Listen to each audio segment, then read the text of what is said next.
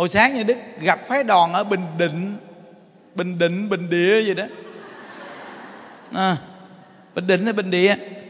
À, à với là bình định đụng vô là bình địa. Đúng rồi. Đầu tiên thỉnh chỉ có hai pho tượng di đà thôi. Hai pho tượng di đà thôi. Ngồi nói chuyện với những đức một chút mà thỉnh 13 bộ tượng. Kinh khủng thiệt. Phái đoàn 14 người, đầu tiên thỉnh có hai tượng di đà. Vì mà nói chuyện với những đức một chút, thỉnh thêm 13 bộ tượng tam thánh. Từ hai pho tượng mà quý vị coi thành ra bao nhiêu? Thành coi 39 pho tượng. Đó chỉ có hai pho tượng mà thành ra 39 pho tượng. Không biết chở sao luôn thấy bà nào bà nấy nại nại nại nại giác đi. Đó. đem về bình định. Tại sao? Đầu tiên không biết tượng. Nên đem cái pho tượng ra để cái gì nè? Như đứng nào với bà nghe cô thấy chưa? Tượng. Tượng gì đâu đẹp quá trời đẹp. Tượng này mà thờ trong nhà nghe. Đem về mà làm bằng thờ liền. Hiểu không? Tôn tượng lên liền nghe không? Dạ thưa thầy th- tượng thỉnh đem về. Rồi có lựa ngày nào ngày tốt để đưa lên không thầy. Nó thật. À bà mà tôn tượng lên liên là ngày tốt. Bây giờ những đức hỏi bà này bà mời những đức về nhà. Mà những đức đang ngồi trong xe. Bà mời về tới nhà, xe chạy tới nhà rồi. Mà bà nói, thôi thầy ngồi trong xe đi. Để con cứ đi coi cái ngày giờ tốt rồi con mời thầy vô nhà. Bà thấy vậy bà coi được không? Bây giờ bà mời những đức về nhà thì bà mở cửa xe đức vô liền, bà phải chuẩn bị nước nôi trà lá, đàng hoàng liền. Để mà những đức ngồi vô bàn liền thì cái đó là tốt. Còn bây giờ những đức đã tới nhà rồi, mà bà kêu những đức thôi, thầy ngồi trong xe để con vô. Con coi đàng hoàng hết trơn rồi, con coi ngày giờ bữa nào tốt, con mở vô. Cái kiểu này chắc tôi đi mất tiêu luôn quá. Hiểu chưa? Đó. đơn giản vậy thôi, dễ hiểu rồi. Trời ơi trời À, thí dụ như bây giờ mà nói mà đám cưới con cái thì coi ngày giờ gì, cái đó là cái cái cái mệnh của mấy đứa này. Còn phật bồ tát là đại từ, đại bi, đại trí đại lực, mà gọi là đại phước báo. Mà mình thỉnh tượng gì nhà mà coi ngày giờ, ngộ ghê. Phật là trí tôn vô thượng, thỉnh phật đem gì là tôn tượng lên cao nhất, cung kính tôn tượng lên là phước báo lớn nhất. Chứ ngày giờ nào còn câu thúc trong Phật pháp nữa. Phật Bồ Tát mà còn cái ngày giờ nào câu thúc nữa. Đúng là nói ra chỗ này mà thấy ghê. Nói kiểu này chắc là mấy ông coi ngày giờ chứ ông vượt mình chạy mắt dép luôn. Vì coi nghe coi đúng không? Ví dụ như con người thì còn trong cái ngày giờ chấm tử vi này kia Thì con người ta dính trong đó. Nhưng nếu gặp một con người tu hành mới bị chấm ra mới nổi Đố chấm ra được Tại vì sao? Năm nay nó làm ăn không được, Nhưng do nó bố thí quá nhiều năm nay năm nay nó làm ăn được, quý vị chấm đúng không? Còn quý vị chấm nó năm nay làm ăn được, nhưng năm nay nó keo kiệt, nó không bố thí cúng dường gì hết. Phước nó tổn xuống, nó xài quá nhiều phước, mà nó không tạo phước ra. Thì năm nay làm ăn được, mà cuối cùng nó làm đâu có được. Nên con người quý vị chấm người ta được là do gì nó đứng á quý vị mới chấm được. Còn con người mà nó động đối vị chấm được không có chấm được ra đâu. Chứ đừng nói chi phật. Phật là bậc chí tôn vô thượng. Mà mình đi lựa ngày giờ để tôn tượng phật, càng tôn sớm chừng nào là càng tốt chừng nấy hiểu không? Nó, không bị câu thúc thời gian. Giờ giấc gì nữa trơn á. Còn có nhiều bà hỏi gì vậy là con phải an bị phật phải làm nghi thức gì thầy? Nói bây giờ mỗi ngày bà tu làm sao?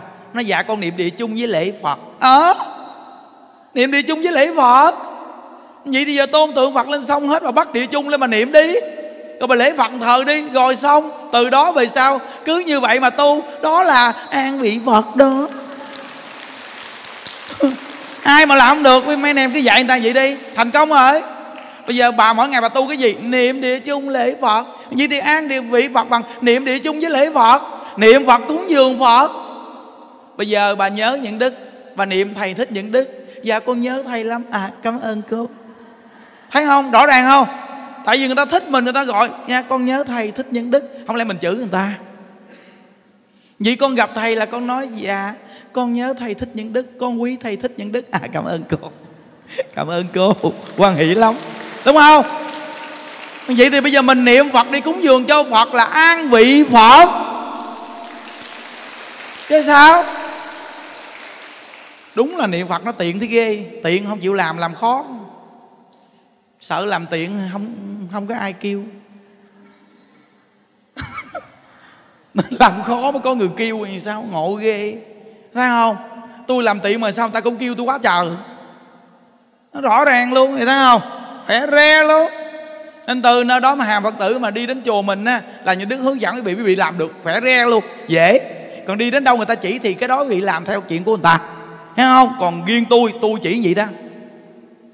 Ai à, tôi chỉ vậy đó. Được không? Được cho chàng pháp tay đi. Thấy chưa? được mà, tao nói được mà. Được, tao vỗ tay um sùm thấy chứ. có ai nói không được con đưa tay lên tôi coi coi. Nó không được tôi kêu lên đây liền. Nên từ nơi đó vậy thấy không? Hướng dẫn rất tiện, mà rất tự tại luôn, thấy không? Xong những đức đem pho tượng ra nghe nó ờ, mấy cô thấy không? Pho tượng mấy cô thấy. Cuộc đời mấy cô thích nhất là gì? Vàng. Thích vàng đúng không? Cô pho tượng coi màu gì? Dạ vàng đó. Vậy cô coi, ba pho tượng này đem gì mà tôn tượng lên trong gia đình mấy cô? Là bắt đầu vàng đến á. Vàng đến nào ào không vậy đâu. Bây giờ những đứa hỏi cô, tượng phật nhà cô đẹp bằng tượng này không? Dạ không, tượng này quá đẹp thầy ơi. Tượng này không đơn giản. Không, ta phải tính toán dữ lắm mới làm được pho tượng này nó trời. Ông biết pho tượng này nhiêu tiền chưa? Nhiêu thầy, vô giá.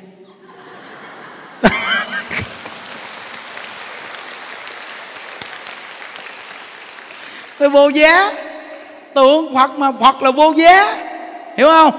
Nó, nên gọi là danh hiệu phật là vô lượng. Thì nó phật là vô giá nó dạ thưa thầy. Thầy nói đi. Tượng bao nhiêu để con cúng dường lại nó học vô giá nói bao nhiêu được nói chưa? Tùy cô nghe. Nói bao nhiêu được nói bao nhiêu là có giá cả là không có đúng với cái, cái, cái tâm của phật đâu nghe không? Đừng nói gì.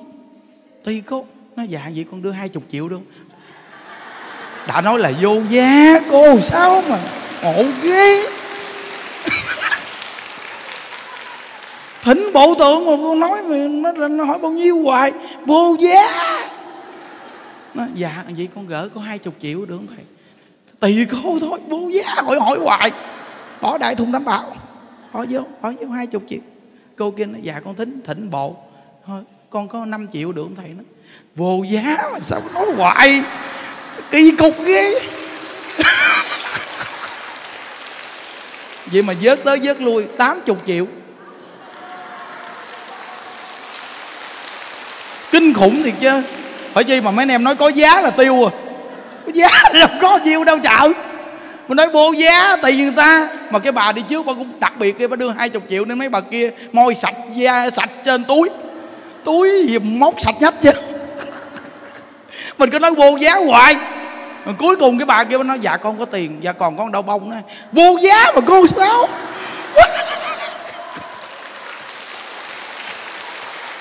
Vô giá mà cứ nói hỏi hoài. Cô nói, tượng đẹp gì? Cô nghĩ đi, pho tượng đem về mà thỉnh mà. Tôn tượng ở gia đình của cô cô thấy cái phước báo này từ đời của cô có phước, rồi dòng họ đến nhà có phước, nhìn tượng có phước. Đắc độ về sau. Rồi con cháu từng đời lễ phật cô lễ con phải nhìn nhìn lễ theo. Rồi cháu nhìn cháu lễ theo. Chắc nhìn chắc lễ theo. Chích nhìn chích lễ theo. Cô thấy không? Một bộ tượng như đức tặng cô mà cô phải vô giá không? Đúng thầy nói đúng. Để thầy cho con số tài khoản gì con chuyển nữa. Nó ừ đúng vô, vô giá. Thấy chưa? Nó không dính một cái gì hết trơn mà mà rất thoải mái rất tự tại. Mấy anh em nhớ nghe. Cái cách giảng này nó nó nó, nó không đơn giản đâu mấy anh em. Hiểu chưa? Đó. Nên ví dụ như giờ mình đến người ta hết lòng hết dạ đi người ta cúng cái gì mình nói tùy tâm cô à. Chùa không biết bao nhiêu đủ mà không biết bao nhiêu mà thiếu đâu cô. Nó có là sao dùng vậy nha?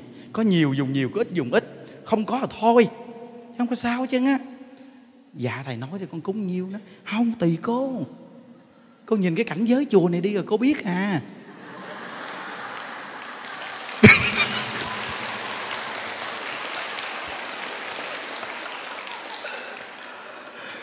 Giống như ngày xưa ba mình kêu mình đi mua rượu. Bữa ông đưa cái chai chai rượu có hình xị, thì có đổ cỡ nào cũng có hình xị thôi. Những đứa hỏi cô, nếu mà bữa nào mà ba mình đưa mình chai rượu một lít thì cô đổ vô có nửa xị, một xị thì cô thấy nó cạn queo rồi, đúng không? Thì cô hãy nhìn cái cảnh giới mà để cô phát tâm.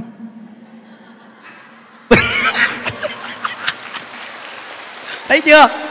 Giới quát liền rồi thấy chưa? Không đó dòng do chưa cái cách nói đó, cách nói đó nó không đơn giản.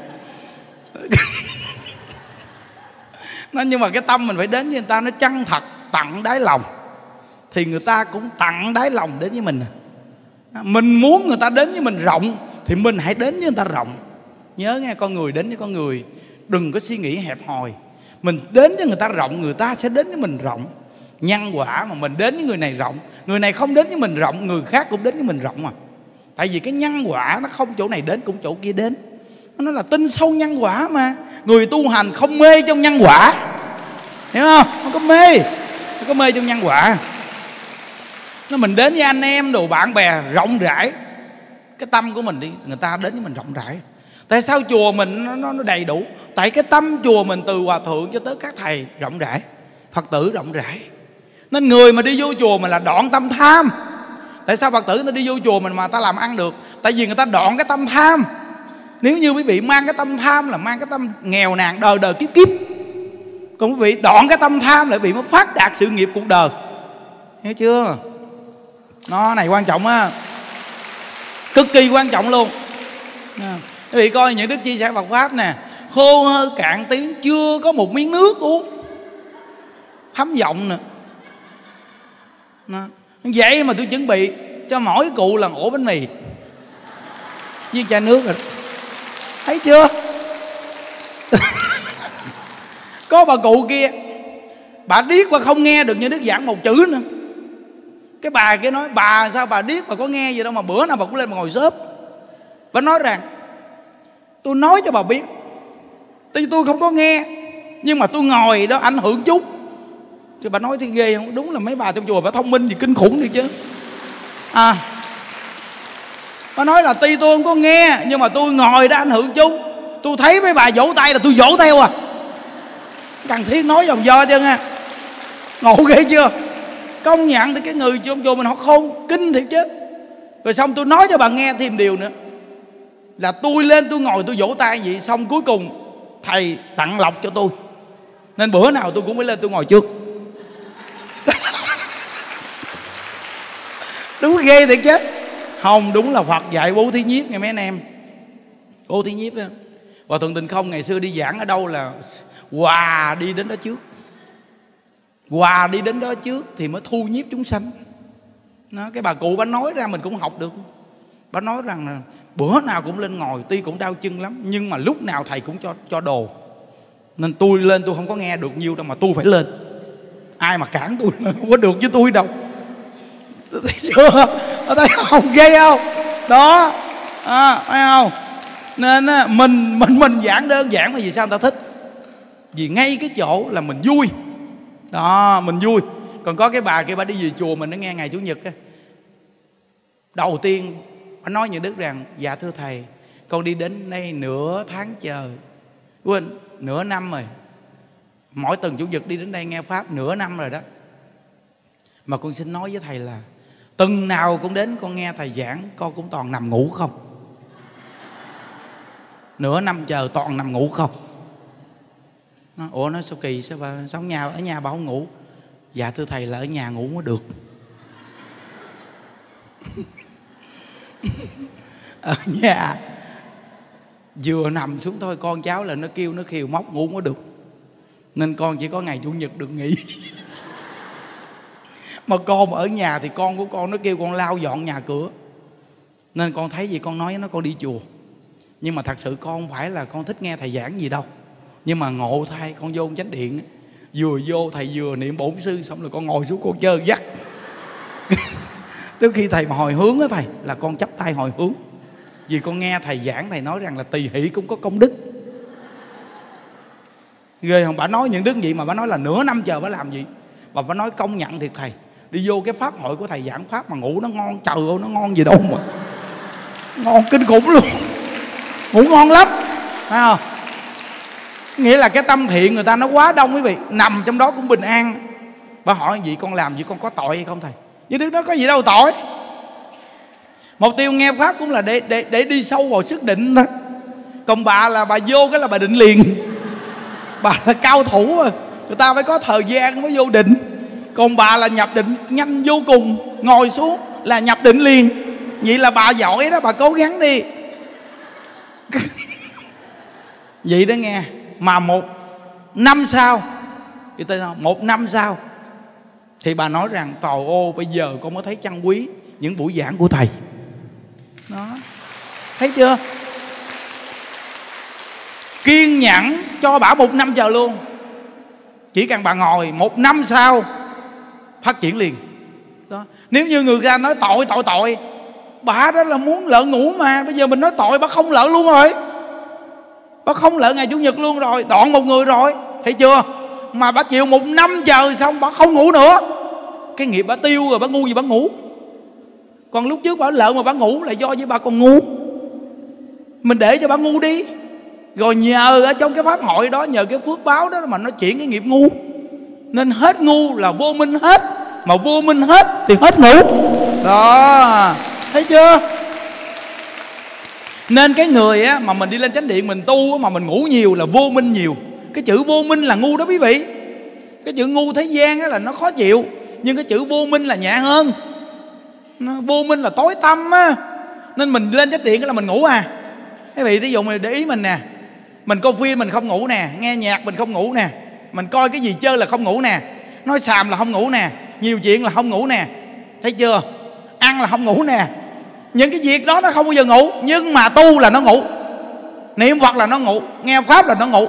Vì sao? Vô minh. Vô minh che lấp. Nó chỉ phù hợp vào những cái chơi là nó không ngủ. Vì cái tần số mà nó phù hợp chỗ đó, nó chưa phá được cái nền vô minh che lấp kia. Nên chúng ta phải cần có thời gian để rèn luyện trong cái Phật pháp. Và từ từ nó phá vỡ cái nền vô minh, con người nó tỉnh khi quý vị tu mà quý vị tỉnh là quý vị sẽ thông minh. À tu mà tỉnh là thông minh rồi đó. À không phải giỡn đâu nghe. Khi lên tu mà tỉnh táo là thông minh rồi đó. Tại vì sao? Vô minh nó nó phá vỡ. Có một người này gặp những đức hỏi một câu dạ thưa thầy, con đi vô chùa có nhiều việc, sao con không hiểu thầy ơi? Những đức nói, không hiểu. Cô không hiểu hả? Nó dạ thầy. Con hỏi thầy, con vô chùa mà có nhiều việc trong chùa con không có hiểu. Vậy thì con phải làm sao? Những đức nói không hiểu thì thôi. Không hiểu thì thôi chứ làm sao? Nhớ nè, cái người mà mới đi vô chùa tu đừng có đi hiểu nhiều. Chỉ cần mình gây dựng cái gốc tu cho mạnh. Nên người xưa ta nói câu, ban đầu vô chùa là tu hạnh gì? Vô chi. Vô chi là không cần biết gì người ta chỉ dạy mình, đừng có kêu mình giết người thôi. Đừng có kêu mình đi tạo tội nghiệp thôi. Hiểu chưa? Mình chỉ cần nghe lời người ta người ta chỉ mình làm việc này, công quả làm. Chỉ mình đi rửa nhà xin rửa chỉ mình đi phụ việc, phụ. Chỉ mình làm gì cứ làm, vì đây là công quả. Người ta càng chỉ mình nhiều nào, càng tốt chừng đấy. Hiểu chưa? Mình bỏ đi cái ngã ta đây rằng là tại sao chỉ tôi? Ông là ai mà chỉ tôi? Bà là ai mà chỉ tôi? Có quyền gì mà chỉ tôi? Tầm bảy tầm bảy ơi tầm bảy ơi. Nên đã nói ban đầu vô chùa là tu hạnh vô chi? Vô chi là không có cái chi thức của mình, mà toàn là dùng cái chi thức người ta để chỉ mình. Người ta chỉ mình, chỉ cần chỉ mình làm việc là tốt. Là công quả là tu cái hạnh vô chi như vậy trong vòng 3 năm sau nó sanh trí. Tự nhiên tất cả việc trong chùa mình sẽ hiểu hết. Còn bây giờ mình đã không hiểu không hiểu là cái trí mình nó đang yếu quá mà mình đi tìm hiểu. Mà càng tìm hiểu thì nó càng không hiểu. Mà nó càng không hiểu thì càng đi tìm hiểu. Mà càng đi tìm hiểu thì nó càng không hiểu. Thấy chưa? À, càng đi tìm hiểu nó sẽ không bao giờ hiểu nhưng mà mình bình thản, bình tâm, bình trí lại. Cứ nghe lời người ta chỉ dạy, tự hiểu luôn. Phật pháp là gì? Tự hiểu. Tự nhiên sẽ hiểu. Một ngày nào bạn sẽ hiểu. Hỏi lại, chừng nào hiểu? Một ngày nào bạn sẽ hiểu? Bạn đừng có quan tâm cái chuyện hiểu hay không hiểu. Rồi một ngày nào tự bạn sẽ hiểu. Tất cả việc trong chùa bạn sẽ hiểu. Tôi bây giờ trong chùa cái thứ gì tôi cũng hiểu. Thấy chưa rõ ràng chưa? Bây giờ trong chùa cái gì tôi cũng hiểu hết trơn. Rồi bây giờ đối nhân xử thế, con người đến hỏi tôi cái này cái kia. Tôi đều hoàn toàn không có còn bận tâm nữa. Ai muốn hỏi gì cũng được. Hỏi cái gì mặc kệ người ta. Tôi không còn bận tâm nặng nề gì hết. Tôi đối nhân xử thế, gặp người tiếp vật, tôi không còn bị ảnh hưởng nữa. Rõ ràng chưa? Là do từ đâu, từ cái hạnh ban đầu là vô trí là cứ làm việc nhiệt tình hết mình thôi. Đừng có đi tìm hiểu, đừng có cho mình thông minh, đi tìm hiểu đừng có đi biết người này biết người kia làm chi. À, hiểu được người đó hiểu người đó hiểu người đó. Người này gọi là tu tạp loạn. Người này đố mà sanh trí tuệ. Không bao giờ sanh trí tuệ. Một trăm phần trăm luôn. Người như vậy không bao giờ sanh trí tuệ. Người mà muốn sanh trí tuệ là hãy để cho đầu óc mình bình lặng lại.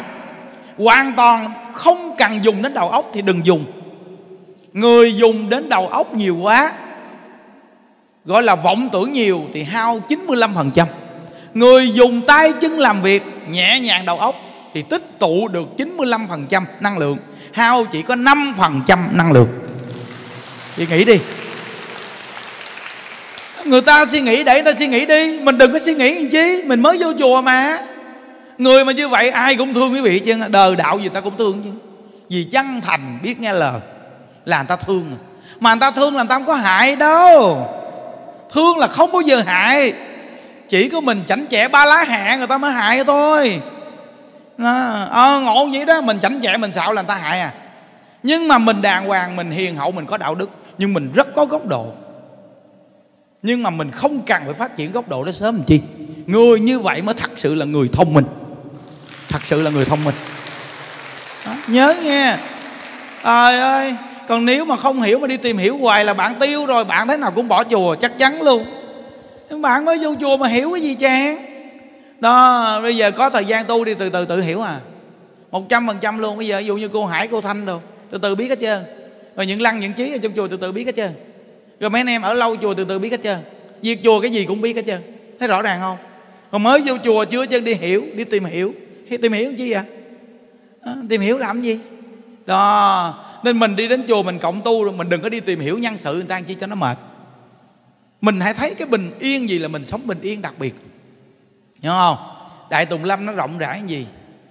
Buổi sáng mình đi vòng mình cũng thấy nó an lạc. Mà muốn đi một vòng chùa mà an lạc phải có phương pháp.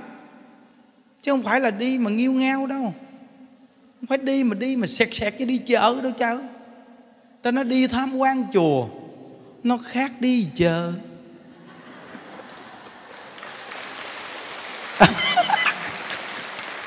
hiểu chưa? Nó quý vị đi tham quan chùa, bởi vì phải đi từng bước thăm, từng bước thăm. Hiểu không? Từng bước thầm đó đó, nó mới sanh tâm giác ngộ đó. Mà khi mà đi vòng vòng chùa, mà đi từ tốn á, tất cả những vọng tưởng như ý nghĩ buông xuống hết đi một vòng chùa, rồi quý vị sẽ thấy quý vị tự tại giống như nhập vào hư không sự an lạc nó vô cùng. Còn quý vị đi đi mà tham quan chùa, đi vòng vòng chùa mà đi như đi chợ, đi sáng sáng sáng sáng sáng sáng sáng sáng nhìn nhìn nhìn nhìn. Không được một cái gì chứ. Tại vì sao? Cái góc độ mà nhanh quá nó không thấy ra. Góc độ chậm nó mới thấy. Chậm nó mới thấy. Nên mình đi mà ví dụ như giờ là giờ rảnh rỗi buổi sáng, buổi chiều, mình đi lang thang một mình xung quanh chùa. Từng bước thầm mình đi.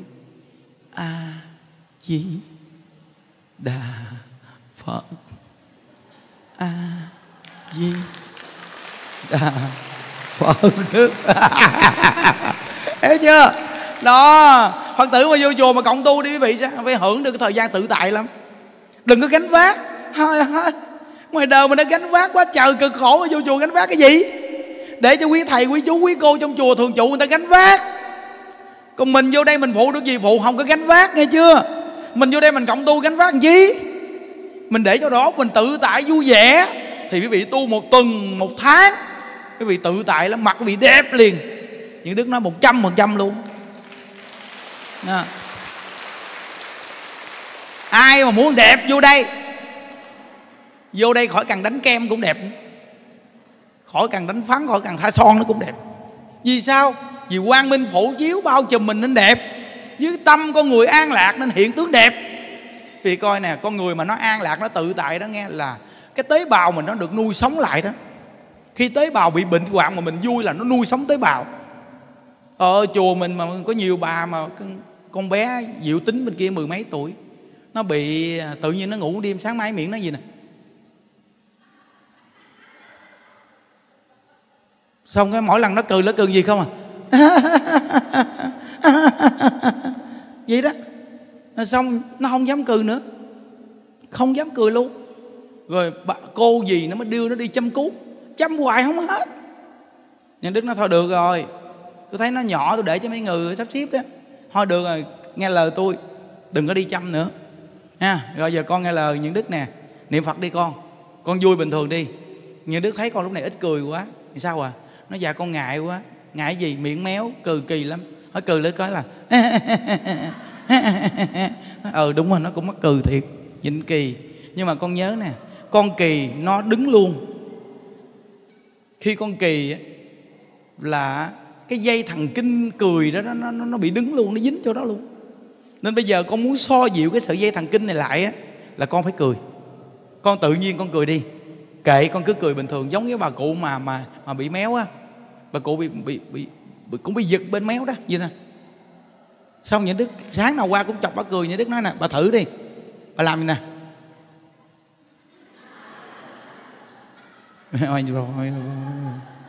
Thử coi. Mà nó không làm không được. Nói, bà thử đi ai vậy ta phật qua cái? À, vậy thôi. Ai vậy thôi. Ai vậy thôi.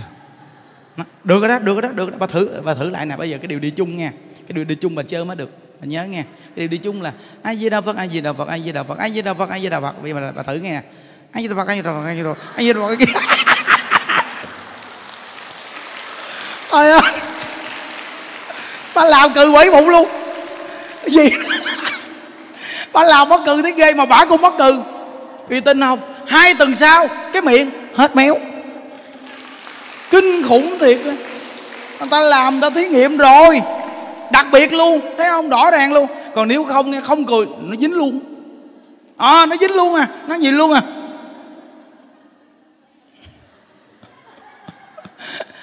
Thật sự mà nói nghe quý vị, con người chúng ta, cái bệnh đau nó nằm trong tế bào mình, trong cái cơ thể mình, không có biết đâu.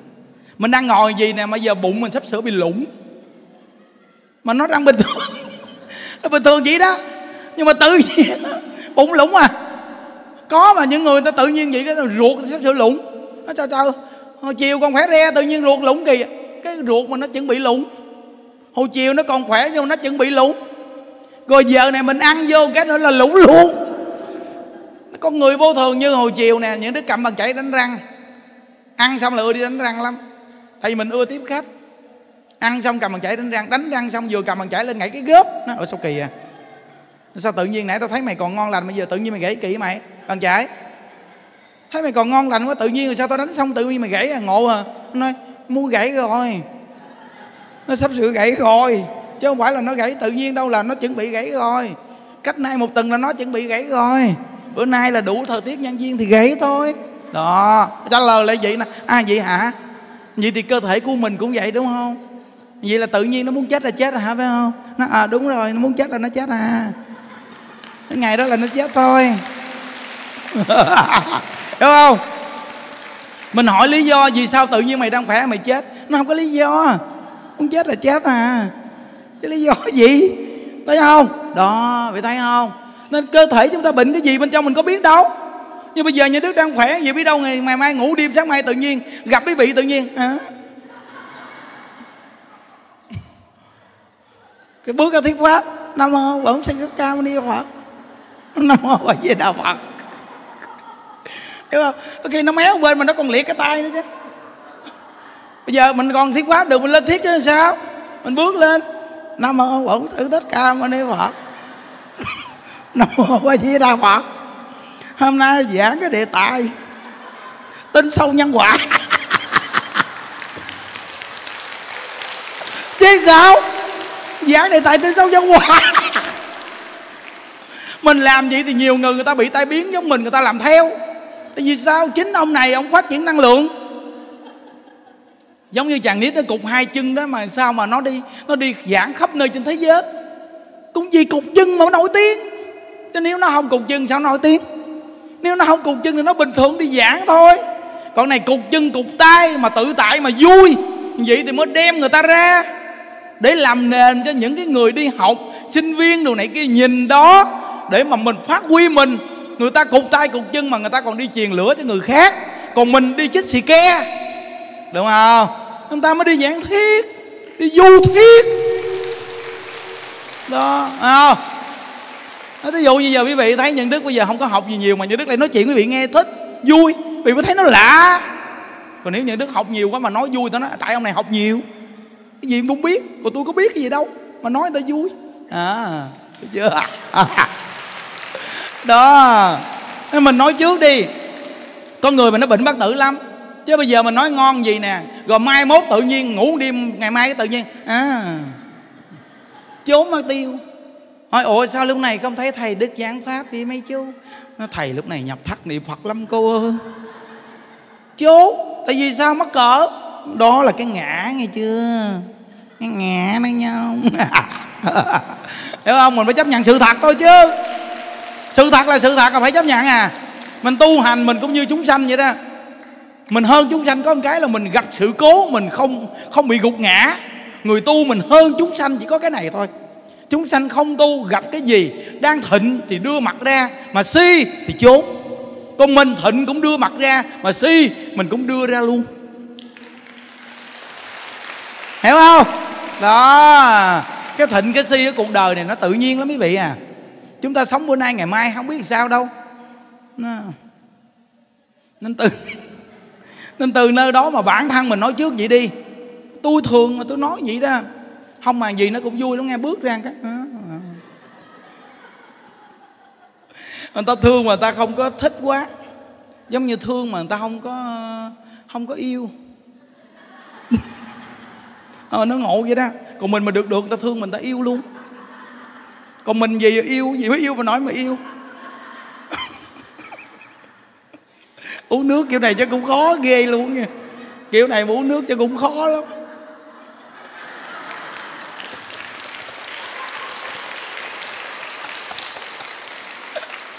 Nhờ mấy cô đút nước cho cũng khó ghê. Mỗi lần mà há họng ra à, trời ơi nó xấu vậy đâu kỳ cục đi ghê. Nó mà còn liệt thiên với tay đi. Mà kiểu mà liệt cái tay bằng gì thì nói gì chắc chắn luôn bước lên. Nam mô bổn sư thích ca mâu đi phật. Thấy chưa? Mà phật tử người ta thấy người ta tội nghiệp lắm nha kiểu đó người ta thương vô cùng tội nghiệp. Cái đó nó cúng còn ác đạn. Tội nghiệp quá. Nó thấy chưa? Nó, bây giờ cuộc đời của mình á, là quyết tâm mình tu để mình sanh cực lạc rồi, mình sao mà cũng niệm phật sanh cực lạc chứ đem cái mạng này mình cúng dường cho phật rồi, bây giờ sao con cũng con cũng quyết tâm con tu chứ. Cố gắng. Nên mỗi một con người mình nghe pháp gì này nghe, mình lỡ gặp sự cố gì trong cuộc đời, dù mình làm bao nhiêu việc thiện, nhưng mình gặp sự cố gì trong cuộc đời mình không có, mình không có nói rằng, tại sao phật không thương con? Đừng có nói câu này. Phật thương mình lắm á. Đừng có nói phật không thương mình. Đừng có kể lễ với phật, có cái bà kia, bà đi chùa, bà tu, bà niệm phật, bà nghe pháp, bà cúng dường vậy đó mà tự nhiên gia đình mới lu bu lộn xộn bà quỳ chứ phật nói phật. Ô phật, ông thương con sao phật? Con đã tu hành rất là khó khăn. Nhà con bao nhiêu người cản trở con? Vậy mà bây giờ phật còn làm cho con bị gì nữa? Bệnh đau, liệt luôn cái tay. Ông ngộ ghê không? Nó kể lễ với phật nói rồi, ô phật, ông thương con sao phật? Đã bao nhiêu người người ta không tin tưởng con. Con học phật nhà con chữ của con còn hơn cái gì đó vậy mà bây giờ phật con làm con bị gì nữa? Bộ phật phật ghét con giống sao phật hả bà? Nói bà bà vô duyên. Bà học phật. Bà phải tin sâu nhân quả chứ. Người tu hành không mê trong nhân quả. Bà nhờ bà tu nên bà mới có liệt con cái tay. Chứ bà mà không tu là nó liệt toàn thân. Hiểu không? Bây giờ quả báo tam đồ bây giờ trả qua báo thế gian. Phật đã quá ưu ái với bà bà còn bà, bà, bà còn à, trách phật nữa hả?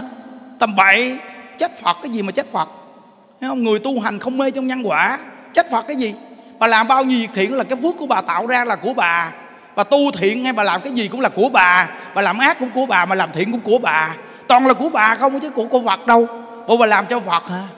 Ví dụ như bây giờ cúng dường cho hòa thượng hòa thượng xây chùa cho chúng sanh ta ở. Và cúng dường cho chùa chùa lo cho chúng sanh. Chứ bây giờ có có ăn riêng gì đâu. Những đứa cũng ngủ cái giường, mấy thầy cũng ngủ cái giường, mấy cụ cũng ngủ cái giường, ai cũng ngủ cái giường chứ. Còn ăn thì cũng một cái chén chứ không lẽ ờ, ờ, hòa thượng những đức người ăn 10 cái chén. Đúng không? Ăn cũng đi ra mà có khi còn ít hơn cái cụ nữa. Bánh xèo tôi ăn có nửa cái à. Ăn bánh xèo có nửa cái. Mấy bà già ăn hai cái. Thấy chưa? Nó, mình thấy rõ ràng rồi. Nên mình làm việc thiện, việc tốt gì mà gặp tai nạn. Mình đừng có bao giờ trách phật. Bình thản. Tự nhiên bình thường. Không có trách phật nghe. Trách phật là có tội. Tội gì? Tội trách phật.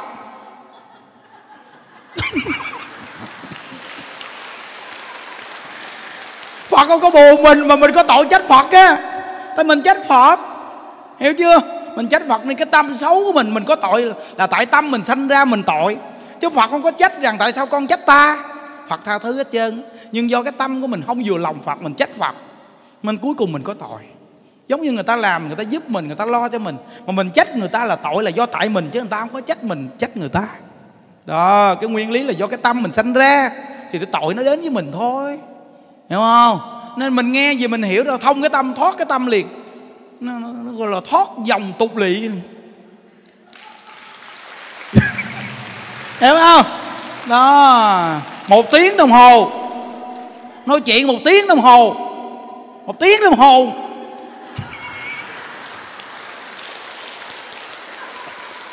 Bây giờ tôi không biết nói gì nữa hết trơn á. Thôi mấy cười cười nhiêu đó được rồi. Để bữa khác cười nữa.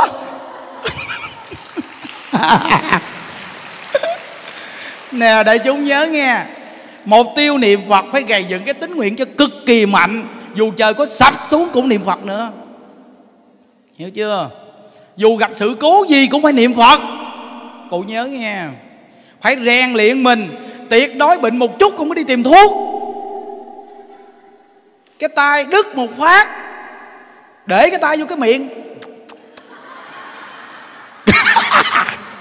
Nút máu.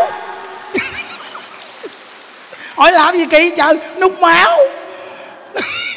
Thì sao đi cầm máu đi, Thì máu của tôi Tôi nút thì cũng vô bụng tôi thôi, Chứ vô bụng ai đâu, Khỏi cầm. Nút từ từ, Hết máu thì thôi. Thì nút ở đây, Nuốt vô đây, Thì nó cũng ra ngay chỗ đó. Đó trả lời cho đó thì xong. Mà còn đổi tế bào máu nữa. Máu tốt hơn là cầm máu. Nhớ nghe cái người mà đứt tay á, mà cầm máu không tốt bằng là nút máu. Tại vì nút máu máu mình nó thay đổi gen. Nó tốt lại biết chưa? Nói rồi nó cũng nuốt vô bụng nó ra lại cái chỗ kia thôi. Nhưng mà tái tạo máu mới cũng máu mình mà lại tái tạo máu mớ. Bác sĩ mà nghe kiểu này cũng bó tay luôn.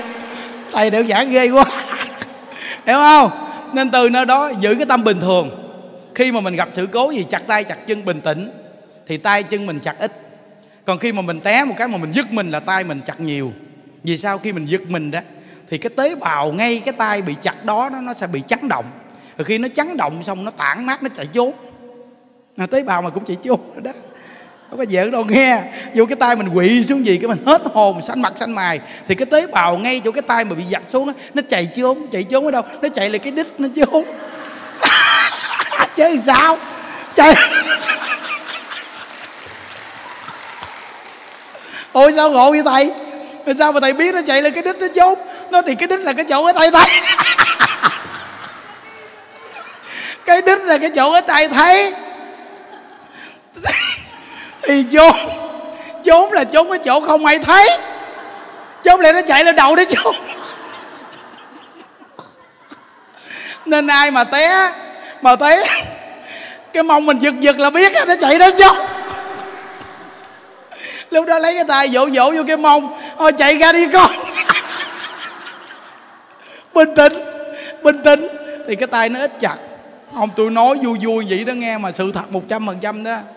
Khi quý vị mà té hay cái gì đó bị bình tĩnh thì quý vị không có tổn thương bao nhiêu hết trơn á. Mà sợ quá là nó chấn động đó. Nó chấn động nó làm cho tế bào mình bị tản mát đó. Là cái tay mình tức khắc bị tổn thương nhiều. Nên con người bình tĩnh nó mới, mới hay.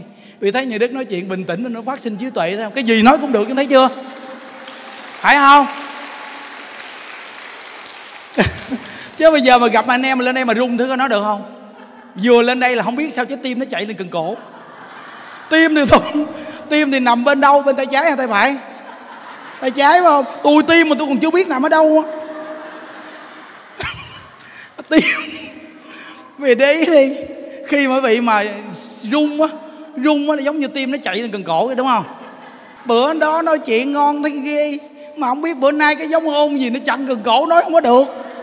Nó rung quá nó rung quá nhịp tim nó đập mạnh tụi tụi tụi tụi tụi tụi tụi tụi tụi tụi tụi tụi tụi tụi tụi nó đập kiểu đó sao nói tim nó đập cái đó sao nói đây tôi mà nói chuyện cái kiểu này là do tim của tôi nó nhịp nhẹ nhàng lắm tí tí tí tí đó tôi mới nói ngon làm được á thấy chưa vì thấy cái bữa giảng này nó khác với bữa kia không là vì sao đèn sáng. Đèn sáng, tôi giảng khác cái bữa kia. Tôi nói tôi nói với vị quý vị chỉ cần tạo hoàn cảnh đẹp là tôi giảng khác. Hiểu chưa? Còn làm xấu là tôi giảng xấu. Tôi làm sao tôi trả lại vậy đó được không? Thì tôi nói là ai mà gặp tôi mà vui là tôi thương. Mà gặp tôi mà buồn là tôi chữ đấy. Nhớ nghe quý vị cứ mang cái mặt vui mà sống đi thì đi đâu người ta cũng thương. Người ta nói bị hên. Cô vì mang cái mặt bằng gì nè? Hôm nay đi ra cái gì ạ làm gì đuổi người ta kỳ à cái mặt gì? Hãm tài. Cho chú khác. Không? Cái mặt mình gì tao nói hãm tài nè. Sáng mà ta chưa bán buôn gì mình lỡ mình đưa tay ra. Cô cô, cả ngày nó chưa ăn uống được gì, cô cho con củ phai đi, cô. Quýnh mày chết, bây giờ chưa bán mở hàng, đi ra khác. Nhìn cái mặt mày là cái ngày đó tôi ế, tôi đốt cho mày chết. Thấy chưa? Còn mình lỡ mà cái mặt mình xin người ta nghe dạ thưa cô, con xin cô, củ bay lang nghe cô. Nó ừ nè, con mặt dễ thương quá, cho củ bay lang nè.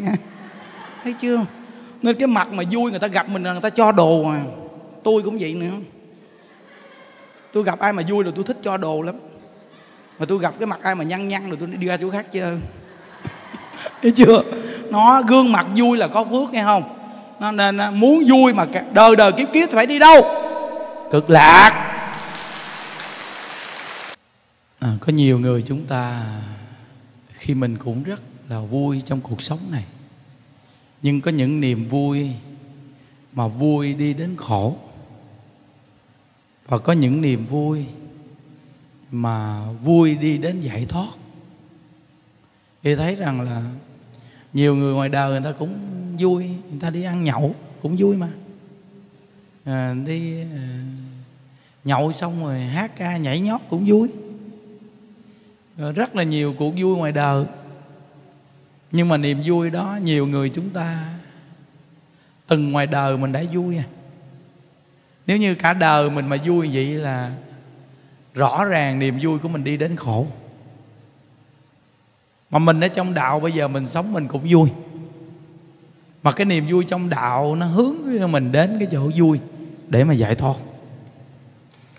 Đúng không?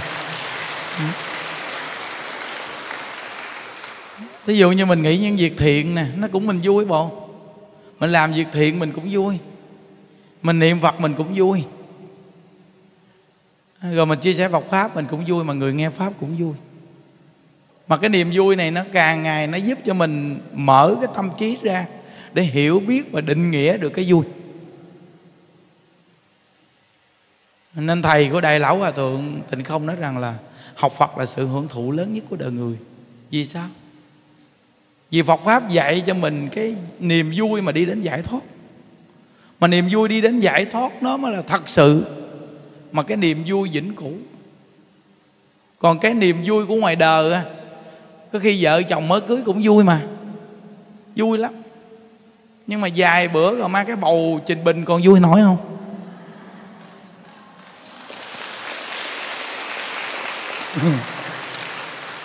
Rồi đẻ. Có ai nói gặn đẻ mà vui không? Đó. Rồi cực khổ nuôi con. Rồi sau này con mình nói nó không nghe, vui nổi không? Rồi cả đời bận biệu vì cái cuộc đời không có những ngày tháng được. Thoải mái cái tâm. Nên cũng là niềm vui mà nó càng đi càng sâu vào cái khổ. Bây giờ tất cả những người ngồi đây mà từng có gia đình thì thấy rõ ràng cái niềm vui của khởi đầu mà ngoài đời là càng vui đi sâu vào cái khổ. Mà nhờ mình gặp Phật pháp, tự nhiên mình mới cởi mở cái khổ ra và mới thấy được rằng mình có một phương hướng đi về nơi giải thoát mới là vui. Rõ ràng chưa? Nên thí dụ như bây giờ niềm vui mà thí dụ như bây giờ mình bắt nhạc rap lên đi, mình nhảy đi, nó cũng vui nữa. Mà nó nhảy một chút đi rồi quý vị sẽ biết nó mệt cỡ nào, quý vị vui nổi nó không? Đó là xác thực luôn á, thấy không? Cái niềm vui giờ mình bật nhạc rap nó đi đi đây bây giờ nguyên cái chùa gì, ngồi gì đi, mình bật bài nhạc nào sơm sơm vô rồi bắt đầu mình cho mấy ông thầy đứng lên nhảy. Sư cô được nhảy quá trời nhảy. Ở dưới. Thì mấy bà già gì, phải làm theo. Tại vì mấy ông thầy làm phải làm theo chứ sao? Mấy ông thầy nhảy sao phải nhảy theo gì? Còn mấy bà cụ già ở dưới kia ngồi xe lăn mà mấy bà cũng nhúng. Tại vì bà thấy mấy ông thầy sơm quá, mà cái nhạc rap nó ghê lắm nghe. Làm cho nó nó nó nó, nó kích vào cái cái uh, cơ thể mình. Rồi nó làm cho mình giống như bị giật găng thì thấy không? Nhưng đức thấy rõ ràng mà bắt nhạc rap lên mà cái bà già ngồi xe lăn mà bà bị liệt rồi đó. Vậy đó mà bà nghe nhạc rap mà hàng ngón tay bà còn làm gì nè? Đấy ôi trời ơi mỗi ngày thấy bà liệt mà nay sao bà làm gì kỳ bà nói là không biết sao mà nghe nhạc rap nó giật. Thấy chưa? Nó kích tới ghê không quý vị? Đó ví dụ như mình thấy ngoài đường đi có nhiều đứa trẻ trẻ trẻ trẻ trẻ, trẻ nó đeo sợi earphone lỗ tai nó bắt nhạc rap lên nó nghe. Vì mà nó đứng ngay chỗ cái gốc cây ờ, còng. Hay cái dừa gì nó đứng vậy đó. Vậy mà nó đứng nó, nó, một chân thì ở hướng đông một chân hướng tây. Rồi nó đứng nó giật giật giật giật giật giật giật giật giật giật chân quý thấy không? Có mà nó thấy rõ ràng, nó nghe nhạc rap giống như là nó nó kích động cơ thể của người mình giống như là những tế bào mà nó bị giật phong. Nó thấy không? Nó vui thế bộ, mà nó nhảy một chút đi rồi buông ra. Là trời ơi. Nghĩa là nó là đuối hết, mệt, lã người.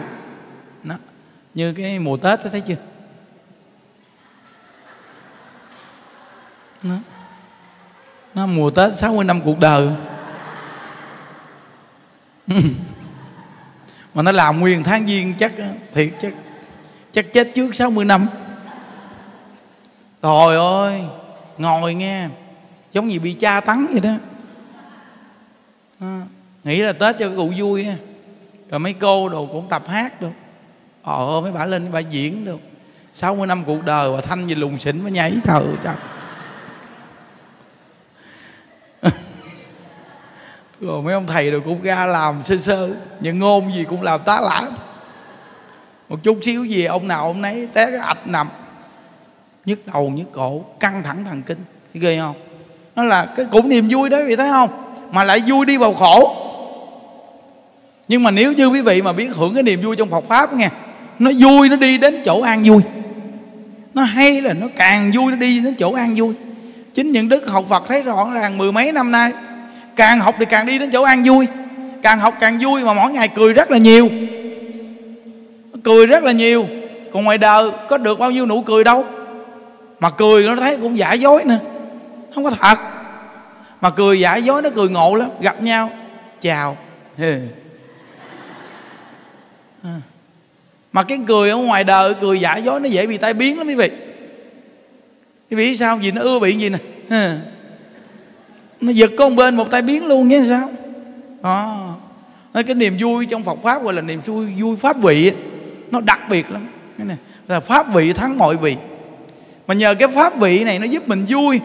Mà cái vui trong pháp vị á, thì mới ái diệt hết khổ đạo, thấy chưa? Nó cái niềm vui trong thế gian là nó đi sâu vào ái. Nó càng vui nó càng ái nó càng nhiễm. Càng vui càng ái càng nhiễm nó gọi là nhiễm ô, nhiễm ái, nó càng khổ đau, thấy chưa? Thì coi tại sao mà hai vợ chồng có một đứa con mà nó quay quằn hoài nó khổ? Ái. Từ ái mà ra. Nó khổ te tua là từ ái nhiễm mà khổ á. Còn tại sao ở đây người ta đông y y gì mà ai người ta cũng vui? Vì nhiệt tình lo cho nhau chứ nhiễm ái ai đâu. Thì con người đến với con người nhiệt tình giúp nhau lo cho nhau thôi. Nó không có nhiễm ô, nhiễm ái thì tự nhiên á ai cũng nỗ lực lên sống đặc biệt, nó không có bao trùm một người nào chứ. Nó không có chùm một người nào mà Phật pháp nó rộng, nó chùm rộng hết. Giống như cái quan minh Phật A Di Đà là bao trùm rộng tất cả chúng sanh. Tùy chúng sanh nào niệm danh hiệu thì cảm ứng. Giống như bây giờ cái tần số của Phật A Di Đà ngày bao rộng hết trơn ai mà mà mà niệm danh hiệu Phật thì cùng tần số đó thì cảm ứng nên mới nói rằng là niệm Phật Phật nghe lại Phật Phật thấy. Nhớ Phật Phật đến gần.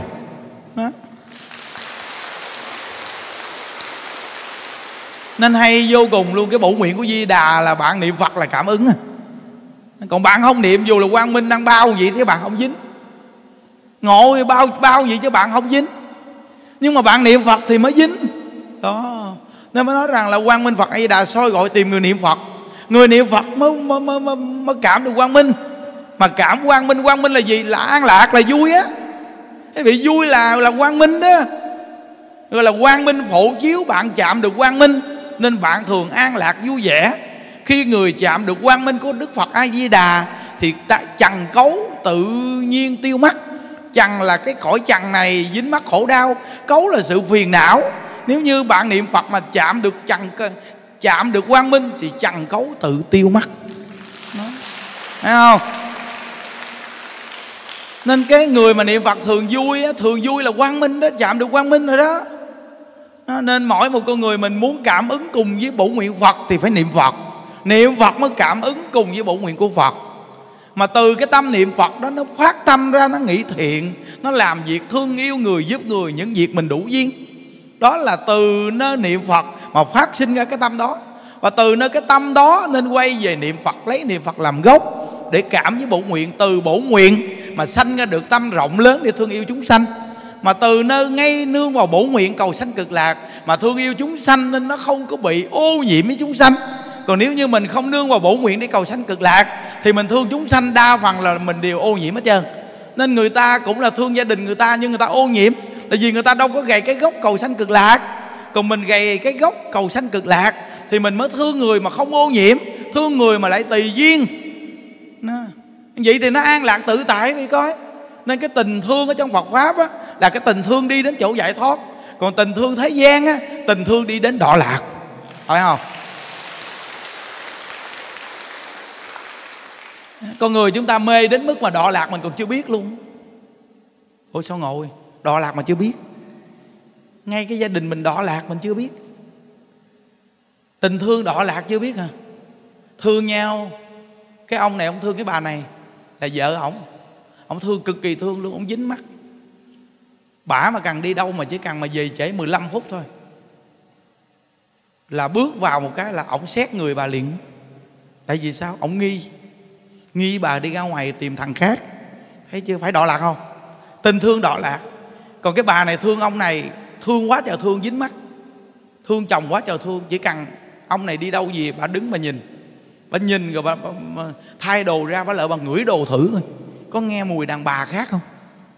Có nghe mùi kem phấn son đồ không? Ghê chưa? Phải là đọa lạc không? Tình thương ô nhiễm đang bị đọa lạc trong cái ô nhiễm. Phải không? Suy nghĩ kỹ đi. Đó. Còn tình thương vô vọng quá đâu có gì đâu. Mình nhiệt tình mình giúp người ta, mình lo cho người ta, mình hết lòng hết dạ. Người ta ở cũng được mà người ta đi cũng được, cái chuyện của người ta, mình hết lòng mình lo thôi. Mình nhiệt tình, mình khuyên lên người ta tu, mình nói con đường giải thoát là tốt, đẹp còn người ta tu tu chuyện của người ta, còn bản thân mình phải làm chuyện của mình. Cho thật là tốt. Thì cái tình thương đó mới đi đến chỗ giải thoát. Còn ở thế gian thì mình chỉ là mình cùng tần số với người đó. Mình cứ quan sát người đó. Người nào mình thương yêu nhất, mình cứ quan sát người đó hoài vậy đó. Nên mình quan sát giết rồi, lúc mà có người đó thì mình yên tâm, mình vui. Mà không có người đó là mình buồn, mình khổ. Đó. Cái tình thương cá nhân nó đi đến đọ lạc, khổ đau, mà cái đọ lạc là nhìn ra ra rõ ràng. Chứ gì? Cái đọ lạc là ra rõ ràng, mình thấy đó nhưng mà con người ta thì người ta nói cái đó đâu phải đọa lạc đâu. Đọa lạc người ta tưởng nó đi vô tù rồi kìa. Trời ơi. Cái đi vô tù khi nó còn không khổ bằng cái tù thế gian này nữa. Cái tù thế gian này nó qua bao nhiêu lớp?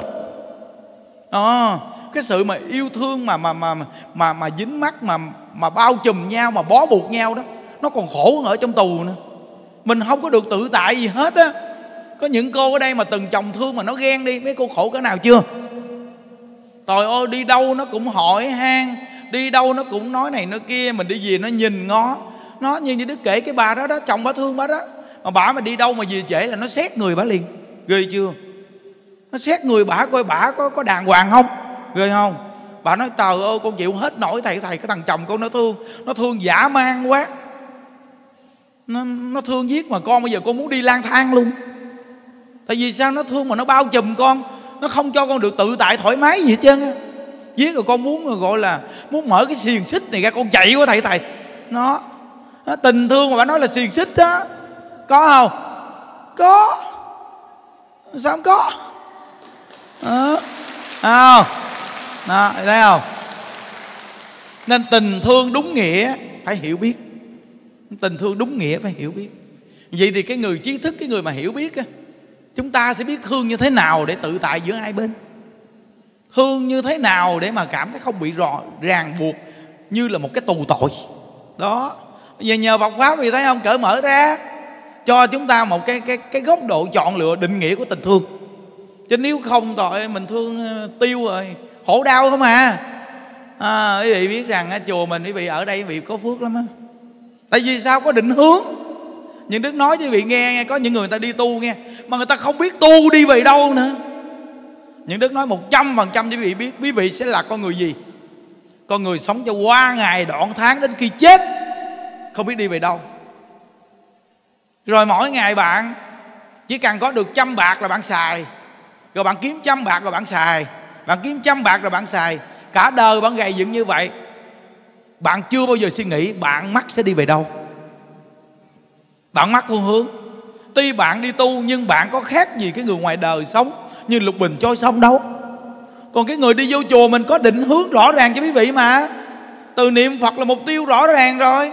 Từ nghe pháp vị thấy định định định nghĩa của tình thương chưa? Nãy giờ nghe đó. Nó từ cái thương mà đi vào đọa lạc, từ thương đi vào giải thoát. Nó giải thích đó cho vị nghe đó. Hay không? Nó đi tu mà gặp như vậy đúng là mừng mừng vô cùng. Thấy chưa? Đó mình phải nhờ nhận thức để chân quý nghe. Nó cái gì thấy không? Một tuần lễ. Nó, những đức quan cơm cũng chọc cười được cũng có định hướng. Rồi thứ năm bây giờ mỗi tuần gì? Là có bài pháp chia sẻ. Mà hôm nay đèn bắt đẹp to đèn gì đẹp vô cùng phải không? Cái này là mấy mấy thầy mấy chú chùa mình đó các cụ. Mấy thầy mấy chú chùa mình cũng giỏi hết các cụ. Giỏi niệm phật giỏi thiệt bắt đèn ngay hàng thẳng lối thấy chưa? Thấy đẹp không? Nói thấy chưa? Cũng là căn nhà này nhưng hôm nay đã khác rồi. Thấy không? Đó. Mấy bữa trước nhìn xuống thấy con ngờ mờ mờ ảo ảo sao? Ờ, giảng pháp mà nhìn xuống nó không sung nghe. Nhìn xuống cho thấy con người nào mặc cũng tèm nhem tuốt nhút mũi giải chảy tùm lum. À, ngộ vậy đó mà bữa nay nhìn qua bên đây thì cũng được rỡ mà nhìn qua bên đây cũng được rỡ nhìn đi xuống kia rỡ rực. Thấy chưa? Đó nhìn thấy rõ ràng không? Đúng là người đẹp nhờ lụa. Lúa tốt nhờ phân thấy không? À, thấy chưa? Vậy thấy không? Nên á con người mình sống mình nên quan sát để biết tô điểm cuộc đời. Mà tô điểm cuộc đời đời vì người ta thì thấy thấy tự tại lắm nên đại lão hòa thượng tịnh không ngày giảng thiết ngày nói rằng mặc áo ăn cơm cũng vì người mà mặc áo ăn cơm. Tu hành sáng sủa cũng vì người mà sáng sủa. Nếu không có cái tâm vì người đó, tôi sao cũng được. Nhưng vì người nên tôi phải tốt, phải đặc biệt, để người ta nhìn tôi tự nhiên người ta muốn tu. Nhìn mình tự nhiên muốn tu. Quý vị thấy rằng à, dù những đức xấu gì xấu, nhưng mà mỗi lần lên giảng pháp các cụ thấy nhìn lên cũng thấy sạch sẽ. Hiểu không? Râu ria cạo cũng đàng hoàng. Chứ gặp mà để râu cho râu cách chốt. Kỳ cục lắm. Thấy không? Nó rồi ở đây thì quay phim nhìn xuống cái thấy hội chúng chưa? Người ta thấy người ta mắc thèm. Người ta coi, người ta nhìn hội chúng ta thèm, tại vì sao? Chúng sao mặt tươi rói à? Ngồi nghe pháp mà mặt gì nè? Tự nhiên trên ta thuyết pháp ta cũng thích nữa còn cái kiểu mà bây giờ người ta trên thuyết pháp mình ngồi với mình gì nè? Còn nhiều bà. Hỏi cái kiểu này người ta coi tới cái là hết ham. Mà nhìn xuống hội chúng mình nghe pháp ngồi với ta làm nè. Trời ơi hứng thú quý vị. À, giống như nó cảm giác kích thích quý vị nghe tự nhiên làm như nó nó nó nạp năng lượng đúng nơi đúng chỗ. Nó, người nạp người người tiếp nhận. Người tiếp nhận người nạp. Nên từ nơi đó mà nó vui nó an lạc. Giống như cái bình này to chuyện của bình con. Mà bình con cũng tiếp nhận được điện. Nên từ nơi đó mà ai cũng có điện nên đèn sáng. Đèn sáng gọi là ai cũng vui á hiểu chưa? À, đèn sáng này ai cũng vui. Rõ ràng chưa? À, điện là năng lượng mà. Nên đủ điện thì tự nhiên đèn sáng thôi. Nó, nên từ nơi đó quý vị thấy rằng à, quý vị ở trong cái hội chúng này nè là quý vị đang thích nghi cái năng lượng cao cấp. Tại đông người mỗi người là một cái năng lượng từ trường giống như một cái tia hồng ngoại của một cái sóng điện như thế nhưng mà nếu cái sóng điện quý vị mà vui là cái sóng điện vì nó tốt lắm. Mà nhiều sóng điện này nó phát lên tốt nó ảnh hưởng cái quả địa cầu này đặc biệt lắm quý vị còn nếu như nguyên một cái lọt người này mà họ ngồi họ nghĩ ác không á là cái cái cái, cái tần số từ trường của họ hiện ác ra nó làm nó phá hoại cái cái hoàn cảnh tốt banh chành hết chứ. Nên từ nơi đó mà đi đến cái hoàn cảnh không tốt nhưng mà con người thiện hoàn cảnh từ từ tốt không thị tốt. Còn đi đến một cái hoàn cảnh tốt nhưng mà con người từ nó không vui thì hoàn cảnh đó nó sẽ từ từ thành xấu. Nên phong thủy là do tâm con người sanh ra chứ không phải là hoàn cảnh đâu quý vị à. Nhưng mà hoàn cảnh nó cũng hỗ trợ cho tâm con người rất là lớn nói tóm lại là hai bên đều có sự hỗ trợ. Hai bên đều có sự hỗ trợ hết thấy không? Đó, nên bây giờ mình từ thường trụ cho đến cộng tu. Mình đi đến đây mình nghe đạo mình biết tu mình biết niệm phật. Mình đem về nhà cái phương pháp tu mình áp dụng. Không những đức nói nghe phật pháp đó nghe quý vị. Quý vị mà biết giới thiệu thu hút lắm á. Rồi chúng ta hồi hướng quý vị nguyện à, đem à, công à, đức này hướng về không tất cả và chúng sanh, đồng sanh về tịnh độ.